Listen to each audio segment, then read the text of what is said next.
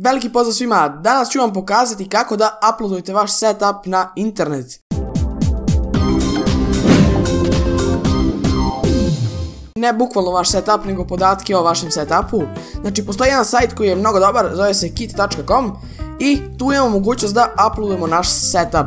E sada, kome je ovo dobro? Ovo je dobro za youtubere, pošto stalno dobijaju pitanja kakve specifikacije imaš, šta koristiš snimaš, šta koristiš, šta ovo, šta ono. E pa lepo, uploaduje sve na ovaj sajt, stavi podatke i samo kliknete i vidite i sliku i sve. Tako da možemo da krenemo.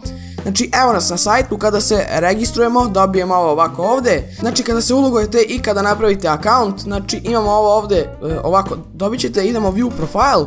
Tu možete da izaberete sliku, ovdje sam stavio link do YouTube-a, znači evo sad ću ovdje da otvori YouTube, evo ga. E, ok, i ovdje dole imamo da stavimo kit. E sad ovako, ja ću sada napravim jedan kit, na primjer za klip, a poslije ću dodati još nekoliko kitova i vi ćete imati taj kit u opisu, odnosno profil da vidite kakve sve kitove imam i šta koristimo za snimanje, tako da možemo da krenemo. Evo ga, kaže kit name i ovo ovdje nešto yoga pričaju, ali nema veze, mi ćemo stavimo računa za montažu i snimanje. Ovdje u opisu ne moramo, znači imamo i opis, U opisu ne moramo da stavimo ništa, idemo next. E, kaže, search product. Mi ćemo krenemo od procesora, u pitanju je Ryzen 5 5600, da vidimo će, neće.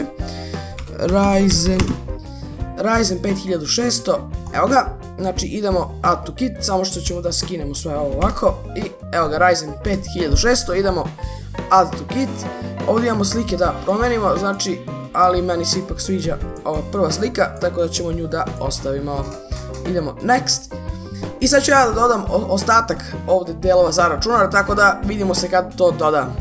I ljudi, evo ja sam završio kit, znači kada smo završili sve, idemo ovdje view kit i dobijemo ovaj link, idemo ovdje copy i kada otvorimo novo, idemo ctrl v i evo ga, štreber računar za montažu i snimanje, znači evo su specifikacije tog računara, znači tu je procesor, ploča, RAM, grafika, napajanje, hladnjak, SSD i kućište i to je to što se tiče tog e, našeg računara za montažu.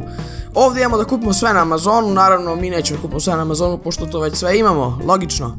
E sad kad idemo ovdje imamo da stavimo srce na naš kit, mada ne znam zašto. A kada kliknemo unutra imamo da iskopiramo link njega, idemo CTRL-C naravno iskopiramo link i možemo da dajemo drugima da bi vidjeli šta imamo u kitu. E sad možete da stavite cover image, možete da menjate kit naravno. Ovdje imate e, delete kit, imate da date deskripciju, da promijenite ime. ok, mi ćemo idemo save i kad idemo ovdje opet na plus, imamo opet ovaj kit i možemo samo close da bi završili sa njim. Idemo close. Opa, lažem, nije close. Već imamo ovdje kit, idemo opet create new kit ako hoćemo nov. I evo create new kit i tu sad napravimo naš novi kit. I eto, to je bilo to, nadam da će vam se svidjeti ovaj sajt kada ga budete sami probali. Ja ću sada napraviti kit sa čim snimamo, pa ćete vidjeti kako to kod nas izgleda. Vidimo se ljudi, Ćao!